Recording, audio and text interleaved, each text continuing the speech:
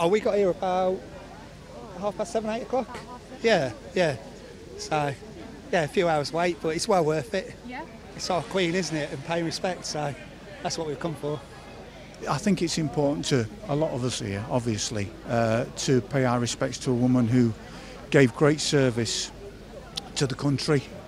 I think she's just an amazing lady. Um, she's done so much for our country and the world as a whole. In a way, in a nice way, she was kind of like a wallpaper to our lives. She's always there, so you just reflect on your own life a bit. You know, people coming and going and stuff like that, and uh, and you realise uh, um, how stupid you are to think that she, she would always be there. I came here as a refugee and being accepted into the country. Um, I mean, she's she was she's always been there in my life, so it's it's quite it's quite something to know that she's gone. Yeah. I would have waited m- more than a day. I would have slept the night here if if I had to, because it's very important.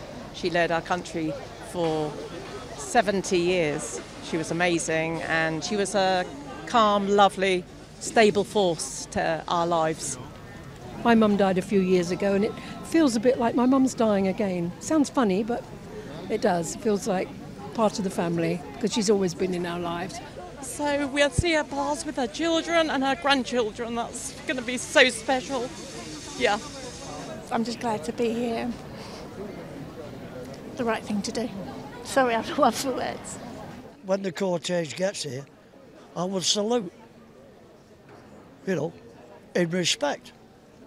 And then after that, I might just go and have a couple of drinks.